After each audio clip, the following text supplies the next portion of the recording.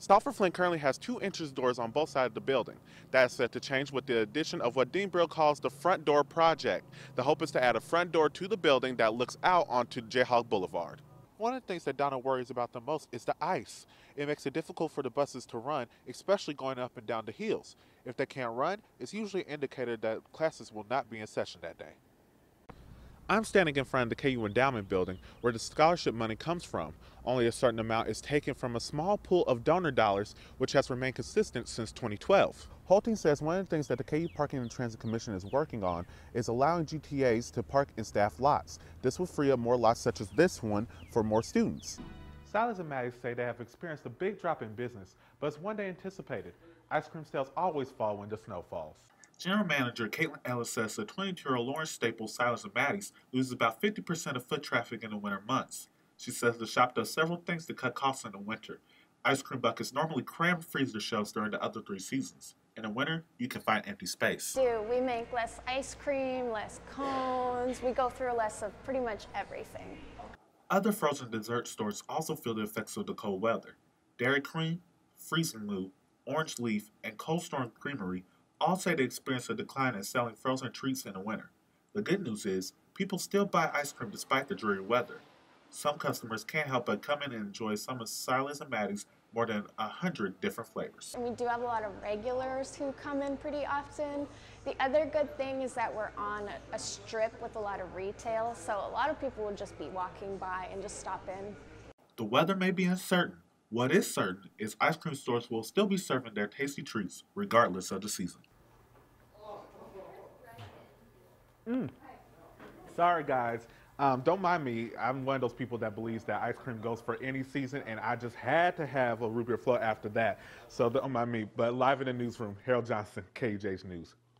Creating the next generation in any given field is a teacher's dream. KUJH reporter Harold Johnson tells us how KU's Research Excellence Initiative helps one KU science professor do just that. Most would think a professor who just received a grant of money would be most excited to continue her research. But for Dr. Lena Hileman, the money she's received will do more than fund her interests. I want to train the next generation of scientists. And so this additional money helps me to support undergraduate students, graduate students, um, and even postdoctoral researchers, people who've received a PhD and are, are gaining more research experience. Dr. Hileman is a professor of ecology, but I don't just study plants. Her research actually deals with plant genetics. Well, we focus on flowering plants, and the flower itself is a really interesting complex structure to try and understand the genes and genetic pathways that allow for complexity. This kind of research is not cheap. Dr. Hileman's studies require a constant stream of money. That is where the Research Excellence Initiative comes in. The Research Excellence Initiative, or REI for short, is a KU program that invests in faculty research. This year, the REI provided a total of $580,000 to KU researchers through its two awards, the Competitive Awards and the Accelerator Awards. In Lawrence, Harold Johnson, KUJH News.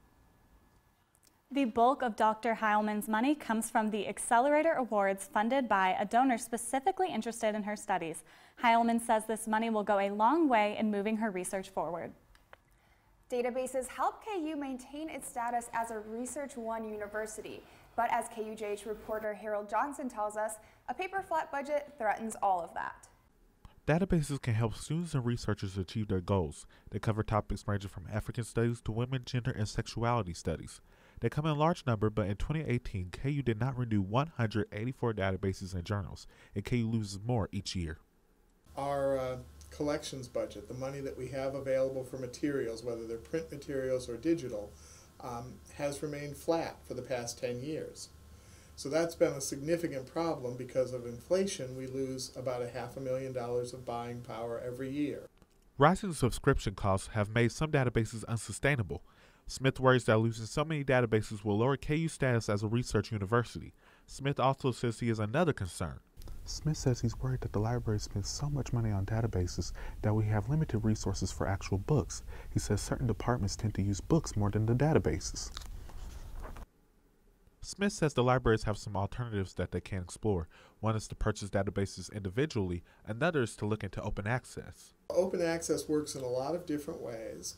What it means is that the products of research, usually journal articles, are available to anybody who has an internet connection without um, charge.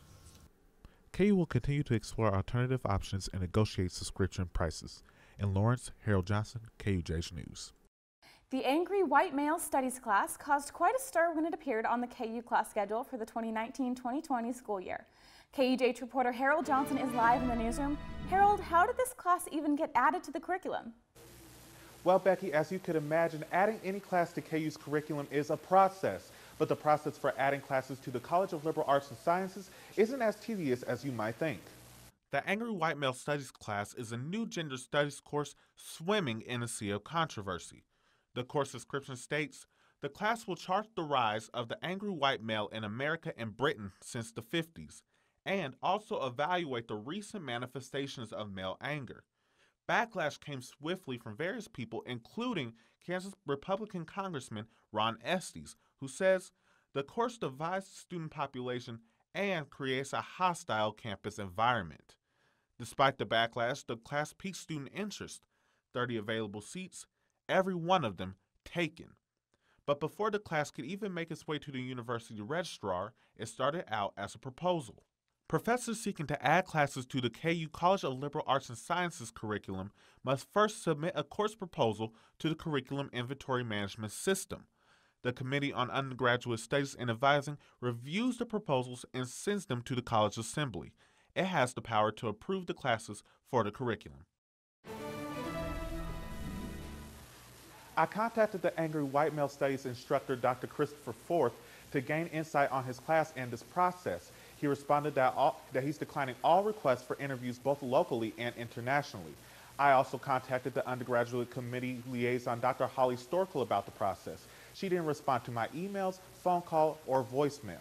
I even reached out to the Office of Liberal Arts and Sciences interim dean, Dr. Clarence Lang. He was not available at the time, and his liaison instead directed me to the department's bylaws on adding classes. I asked about other possible times to meet, but I didn't receive a response. Despite getting national attention, no one from KU has released an official statement or been willing to meet with reporters regarding the class. Live in the newsroom, Harold Johnson, KUJH News.